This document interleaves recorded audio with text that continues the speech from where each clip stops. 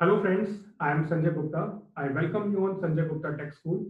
In this video, I am going to explain a program which will be calculating power value. So here we will be having two uh, digits. One is base and second will be power and we need to calculate this. So 2 raised 3 equals to whatever will be the result that we need to calculate. So before starting, uh, if you go to detail or description of this video, so you will find uh, links of various playlists related to programming. So you can watch them too. So now uh, beginning with this logic. So here you can see we need to calculate 2 raised 3. It means we need to perform this operation. 2 will be multiplied 3 times so that uh, this calculation result can be implemented. So uh, if we have uh, base as 2 and power as 3, so uh, we can do this uh, with this method like we can multiply 2 3 times. But let's say if it is 30, so is it possible to multiply 2 uh, 30 times like this? No, we cannot write uh, 2 into 2 into 2 30 times. That will be not a good practice. So to simplify this problem, I am going to implement this solution with the help of for loop so that this multiplication can be done automatically, whatever uh, will be the value of r, right? So based on power, this base will be multiplied so that we can identify the result. So let's say right now power is 3 and base is 2. So I'm writing it from the beginning. So I am taking these variables base power and result. So it is initialized with one. So its initial value is one that I'm going to use. Then inside printf, I'm writing enter base and power. Then scanf percent d two times because we are reading two values so base will be stored inside B variable and power will be stored inside P variable, right? And also remember that we are not going to use predefined function. So there is a predefined function POW that you can use like this. And this is uh, used with math.h header file. So we are not going to use this.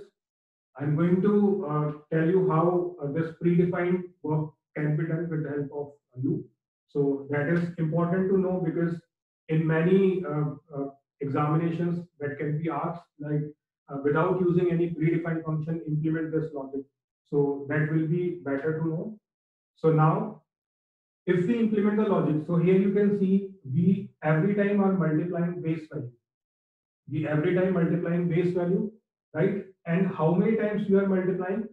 Uh, it depends upon the power, right? So it is clear multiplication will be done for base and how many times will be uh, dependent upon the power. So uh, if I want to multiply 2 three times, it means loop will repeat three times. So here I am going to write i equals to 1 and rotation of this i loop will depend upon this p. And here I am declaring one more variable that is i, right? Now inside this loop, I need to multiply that base value. So I hope you understood why I wrote P here because P is deciding how many times we need to multiply the base. So base is uh, right now 2. So I'm writing R equals to R into B and closing this, right? And after completion of this, I'm going to print the result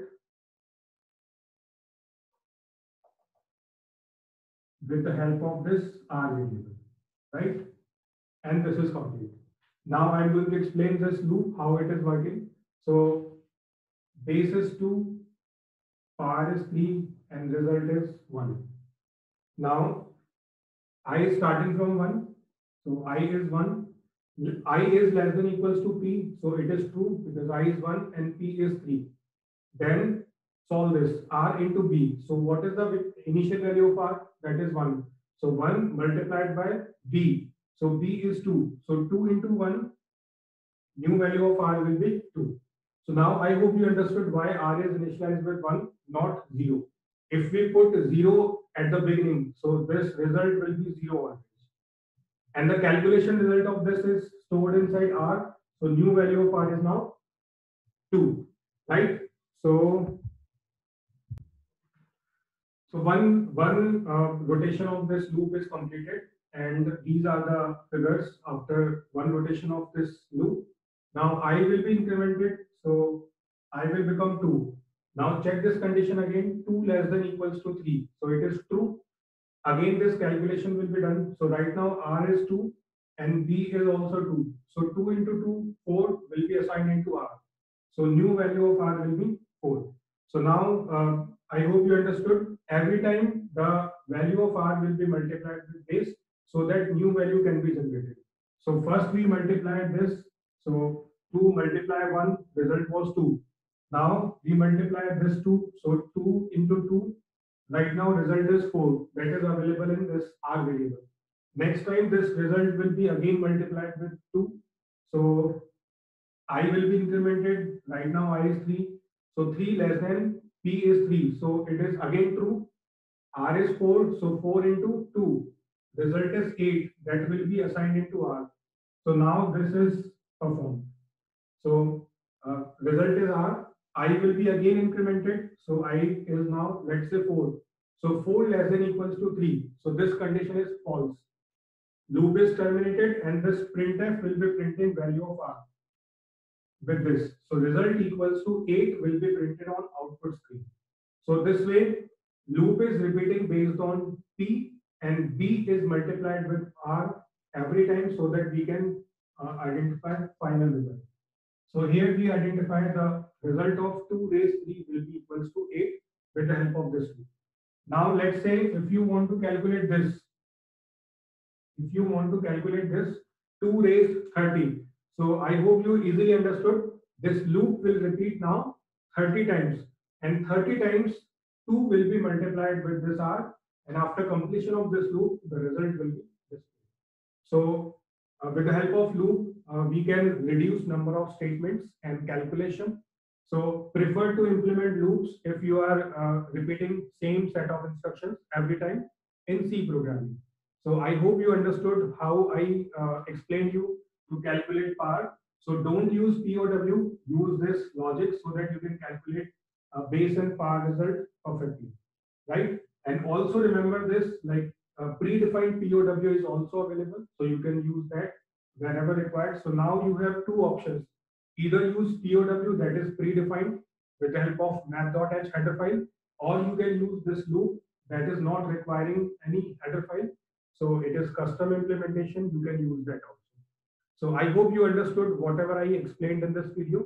If you want to watch more uh, uh, programming related videos, you can open my channel, go to playlist and there various programming related videos are available. So I hope you understood whatever I explained. Thank you for watching this video.